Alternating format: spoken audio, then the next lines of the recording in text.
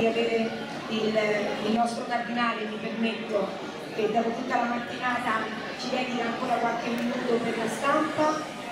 Siamo qui al secondo Happening nazionale degli oratori organizzato da Fori e siamo insieme ovviamente all'ospite che ci ospita in questa bellissima diocesi insieme a Don Marco Mori, presidente del, del forum e a Don Michele Calabretti del Servizio Nazionale della CEI per la passione giovanile. Il Cardinale ovviamente ha moltissimi impegni, ha seguito i lavori stamattina, quindi cerchiamo di essere brevi e concisi, una brevissima presentazione di Don Marco e poi ascolteremo quello ah, direttamente, allora passiamo la parola al, al Cardinale, poi ovviamente saremo a disposizione per eventuali altre domande da parte dei, dei colleghi giornalisti.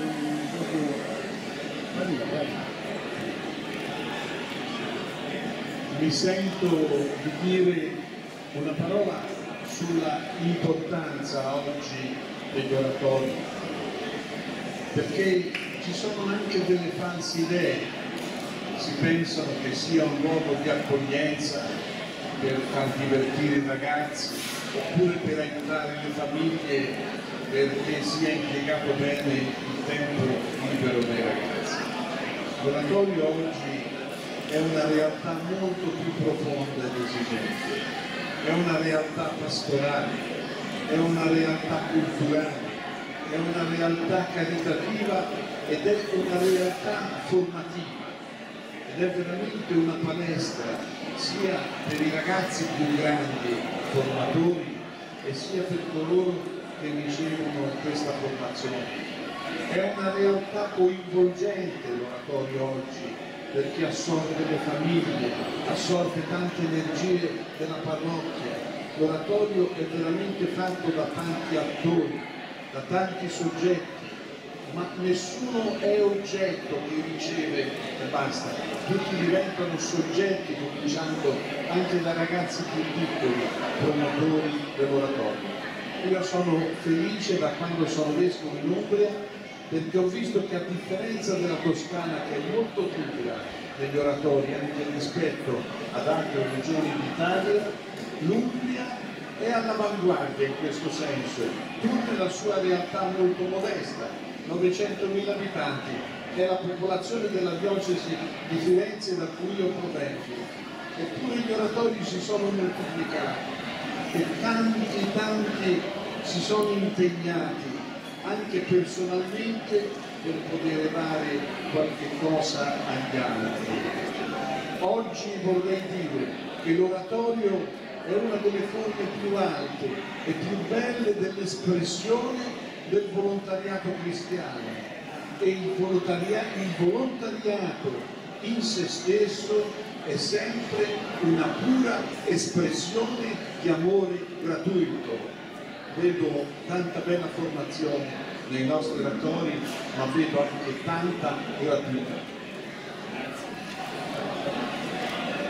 Grazie. Eh, ammetto anche dire grazie a questa terra che ci ha ospitato, perché è stata anche una scommessa fatta un po' insieme quello di eh, fare in modo che l'happening degli oratori fosse ospitato in diverse parti d'Italia e penso che questo evidenza anche questo sforzo che lo avete messo in atto in questi giorni verrà sicuramente ripagato anche da una consapevolezza ulteriore del bene dell'oratorio.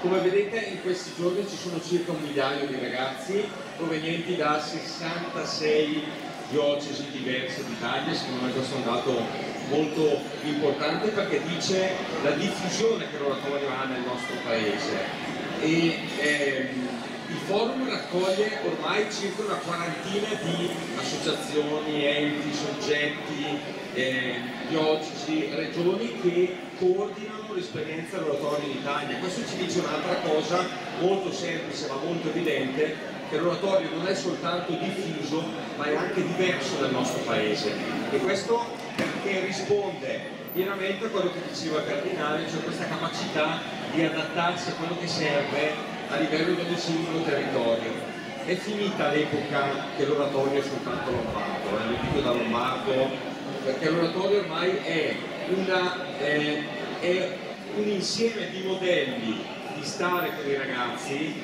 che ovviamente hanno alla base una, eh, un voler bene ai ragazzi, una centralità della comunità cristiana che li accoglie, una, un'attenzione ai diversi linguaggi educativi che ci sono e che quindi come dire hanno una base comune però rispondono proprio a territori diversi. Questo la dice molto, la dice lunga sul futuro degli oratori in Italia.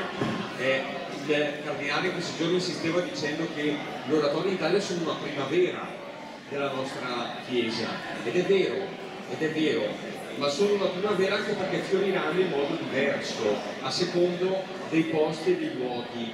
Eh, Perugia dice che all'avanguardia, ed è vero, ospita all'Università Statale questo corso eh, per gli oratori che è un unicum in Italia, eh, ma questo vale anche per altri territori. Il senso dell'happening, e ho chiuso, è esattamente quello di far incontrare questa esperienza, non fare scontrare, non fare concorrenza, ma fare in modo che nasca anche all'interno dei nostri animatori questo senso di appartenenza, di scambio di esperienze. Io sogno che da Brescia, che è la mia diocesi, partano degli animatori che condividano con Napoli, con Roma, con Perugia, con tutti gli oratori che ci sono in Italia delle esperienze di scambio, di confronto e così avvenga. Se riusciamo a fare questo eh, creiamo una possibilità di una crescita ulteriore dell'oratorio nelle nostre diocesi e nella consapevolezza del bene che possono portare ai nostri ragazzi non mi chiede che invece come dire, il capo all'interno della conferenza episcopale del, della pastorale giovanile magari si può raccontarvi come l'oratorio e la pastorale giovanile stanno viaggiando insieme. Grazie, mi unisco ai ringraziamenti di, Sua Eminenza e di Don Marco ovviamente per questa esperienza. Dunque, eh, la pastorale giovanile in Italia c'è l'attenzione che la Chiesa italiana dedica alle nuove generazioni non è nata oggi, la cosa tra l'altro interessante è che eh, mi sembra che stia succedendo eh, qualcosa di simile eh, tra la pastorale giovanile e il mondo degli oratori in questo senso. Eh, prima vengono le esperienze, poi vengono eh, le strutture. Eh, qualche volta si pensa il contrario, no? che dell'oratorio noi non abbiamo le strutture quindi non possiamo fare, no, cioè, la fede e l'esperienza della Chiesa parte prima dallo stare insieme e da quello che insieme si vive, che è appunto il consegnarsi il senso della vita e il vivere insieme la fede. E poi arrivano le, le organizzazioni, le strutture. Eh, vent'anni fa nasceva il servizio, eh, dieci anni fa circa eh, nasceva il forum degli oratori, eh, l'anno scorso è uscita la nota della conferenza episcopale che è il primo documento sull'oratorio. Come eh, vanno insieme pastorale giovanile e oratorio? Il discorso direi che è abbastanza semplice, nel senso che l'oratorio è questa la diversità di cui parlava Don Marco, ha al, al fondo la stessa ispirazione, accompagnare i piccoli, non lasciarli soli, c'è una condizione di fondo fortissima che è non si diventa grandi da soli, non si cresce da soli. L'oratorio eh, è, è questa esperienza di cura e di accompagnamento che a un certo punto chiede restituzione, cioè come io ho ricevuto questa cura e questo accompagnamento, così poi a un certo punto la restituisco se è vero che abbiamo sempre un po' in Italia pensato alla pastorale giovanile come quel momento che raccoglie i giovani e forse l'esperienza più grande, più forte che viene in mente è eh, la GMG, ma non è l'unica esperienza pastorale giovanile, però è quella più significativa.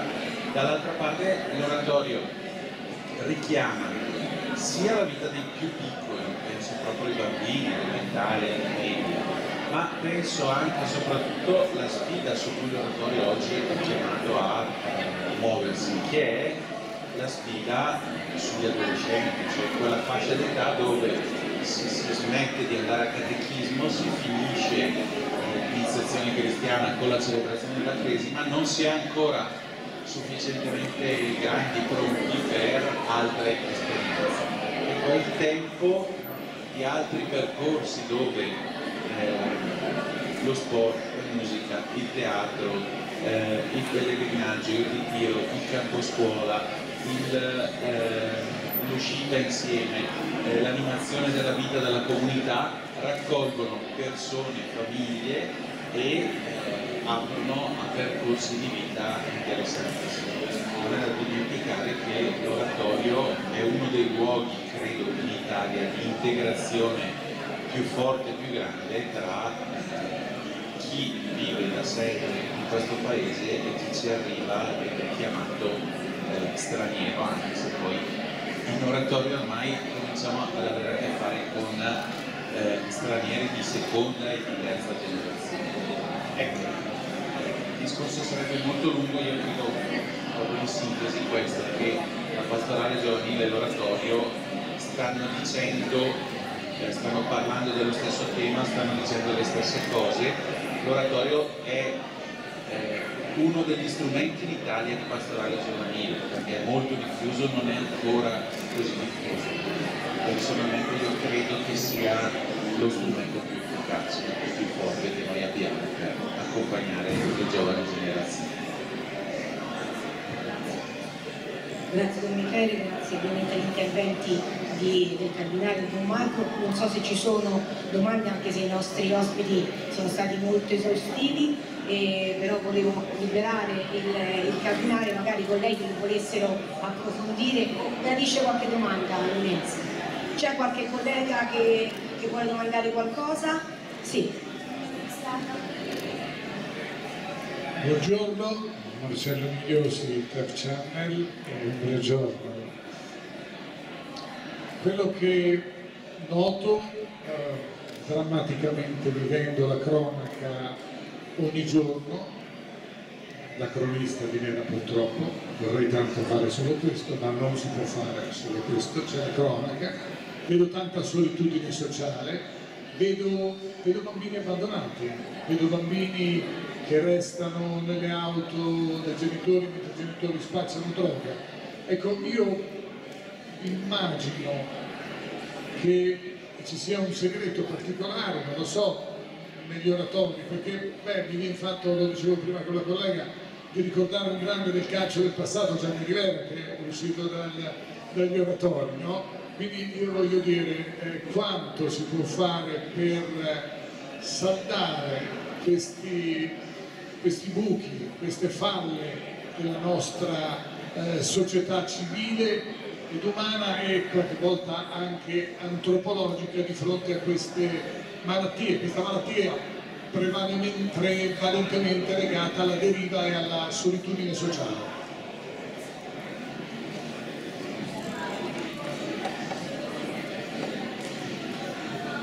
Eh, in parte voglio proprio ribadire perché l'oratorio permette di eh, realizzare un collegamento tra scuola, società, istituzioni, famiglie e soprattutto anche con quelli che vengono da lontano.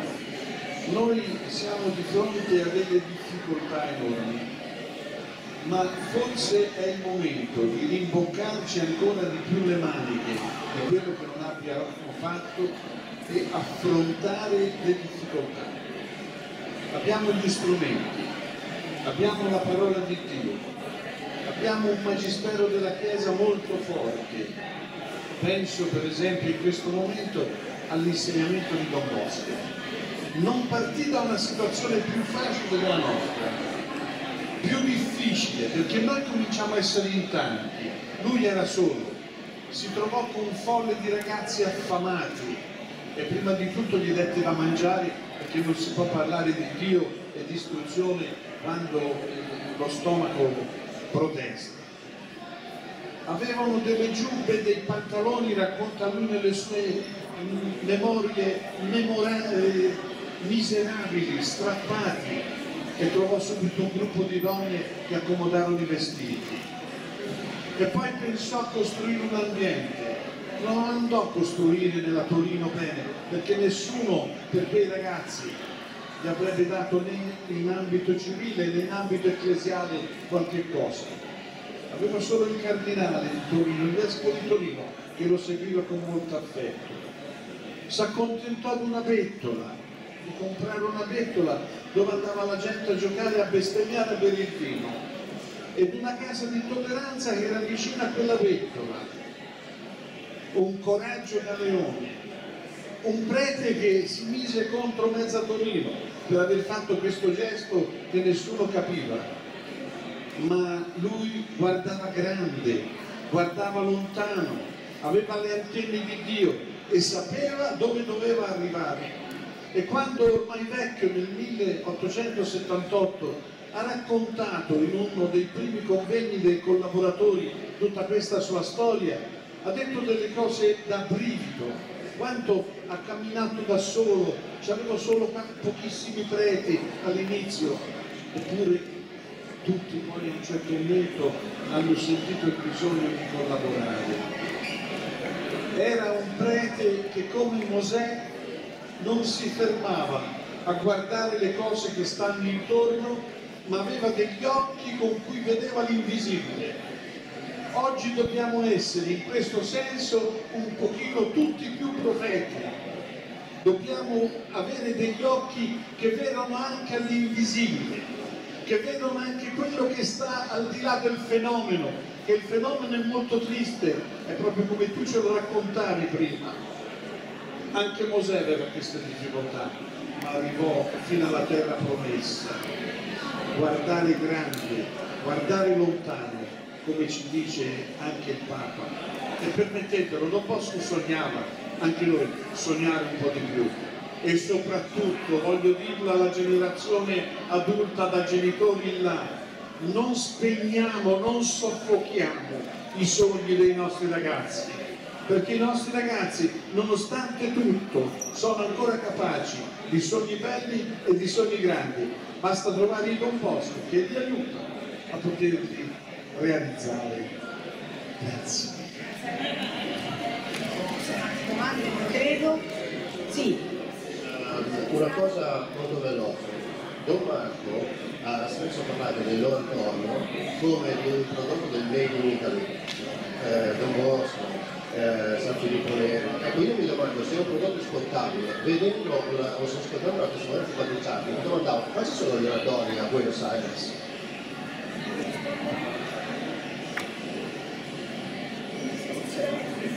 Sì, è un made in Italy l'oratorio, cioè è un'italianità proprio, ma perché risponde molto anche alla dimensione di come la Chiesa eh, concretamente in Italia si sviluppa, campanili, le situazioni dire, di vicinanza alla gente, eccetera. Io non lo so se è asportabile, io sulle cose asportabili, soprattutto dal punto di vista dei processi educativi, c'è sempre qualche perplessità, perché mi piacerebbe più che l'idea si fosse asportabile che ci fosse poi tanto scambio. Questo secondo me si può fare. Io lo percepirei come una sfida dei nostri oratori. A me piacerebbe che gli oratori, mi piacerebbe, come dire, perché penso che sia anche un modo di rispondere alle sfide che abbiamo, cioè si pongano anche eh, degli obiettivi missionari, de, degli obiettivi di condivisione con altri popoli, con altre situazioni, con altre realtà, perché forse il fare entrare penso a tematiche che abbiamo visto stamattina, dentro nella nostra dimensione anche di educazione dei ragazzi, tanta dimensione di povertà, forse ci aiuta esattamente anche a rispondere non magicamente alla soluzione dei problemi che ci sono, però in termini ecclesiali di una dire, condivisione, di costruzione poi di percorsi concreti che ci permettono esattamente di condividere. Quindi sì, è un'italianità e io aggiungo anche che ne siamo un po' orgogliosi, nel senso, che, nel senso bello del termine, perché dice probabilmente anche un modello nostro ecclesiale e anche di vitalità della nostra dimensione ecclesiale che è bella, che è concretamente vicino ai ragazzi e dice anche che quando facciamo così l'oratorio è una spina eh, all'interno delle nostre comunità, nel senso che custodire dei posti in cui i ragazzi possono esprimere, dire la loro, fa crescere dentro, ci obbliga a cambiare continuamente, ma questo è bello. Un prete un po' matto di Firenze che si chiamava Donnesi volle fare una scommessa, portare nelle periferie di Fortaleza l'esperienza di Don Giulio Facipeni che aveva raccolto più di mille orfani dopo la guerra. Fece una cosa inconcepibile, eh? aveva costruito la palestra per i ragazzi, poi il metodo scolastico era quello di Don Milani. Allora aveva costruito una palestra dove c'erano il, il timpano di un tempio greco per rimettere insieme la cultura di tutti i popoli del passato, le radici antiche, eccetera. Poi c'era un sistema scolastico, diciamo così, molto attivo, poi c'erano i laboratori, poi c'era il coinvolgimento la sera delle famiglie, eccetera. Donnesi, senza accorgersi, aveva costruito un oratorio. Certo poi con i segni dell'Europa, ma l'aveva perfettamente adattato alla realtà del Brasile e funzionava. Penso che funzioni ancora, perché c'è ancora questa esperienza, grazie a Dio, della Chiesa Fiorentina in Brasile. Io credo che noi, più che andare a proporre dei modelli, che dobbiamo avere un grande rispetto per le culture, dobbiamo fare qualche cosa di esemplare che possa essere accolto. Perché come diceva Benedetto XVI, il cristianesimo si propaga per attrazione. Eh, se noi riusciamo a fare qualche cosa di molto bello che vale da noi, per attrazione nella loro cultura può essere riproposto anche agli altri. Se pretendiamo di imporre qualche cosa, allora è finita perché non rispettiamo né la libertà degli uomini né le culture. Grazie. Io devo scappare. Grazie. Grazie, grazie, grazie a tutti. Grazie.